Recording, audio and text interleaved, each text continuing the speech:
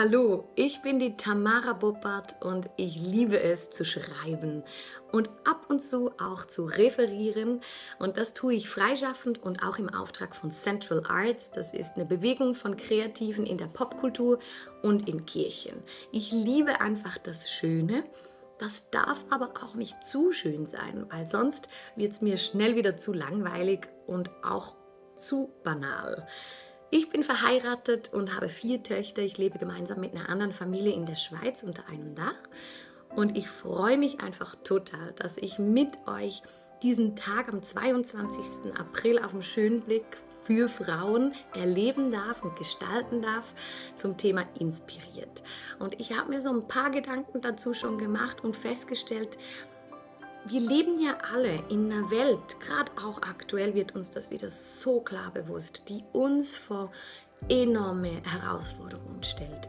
Und das Einzige, was mir eigentlich da noch Hoffnung gibt, ist einerseits, dass da ein Gott ist und andererseits, dass dieser Gott uns Menschen so geschaffen hat, dass wir fähig sind, Lösungen zu finden. Also der Mensch hat ja diese Fähigkeit, Antworten zu finden, die davor noch nicht da waren. Die Zukunftsforschung nennt das Novel and Adaptive Thinking, also dieses Spezialgebiet der Menschen eigentlich durch Überlegen auf neuartige Antworten zu stoßen oder auch auf Unvorhersehbares zu reagieren. Das ist eigentlich menschliche Fähigkeit.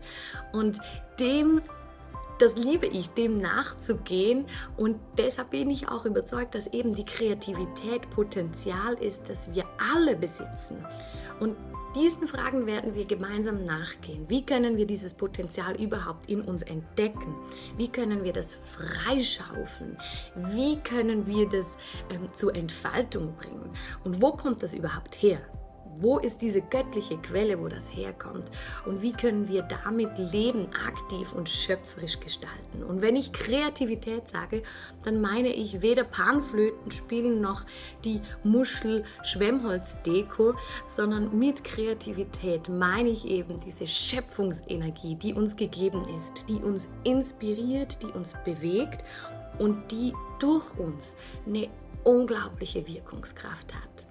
In diesem Sinne, ich freue mich auf diesen Tag mit euch.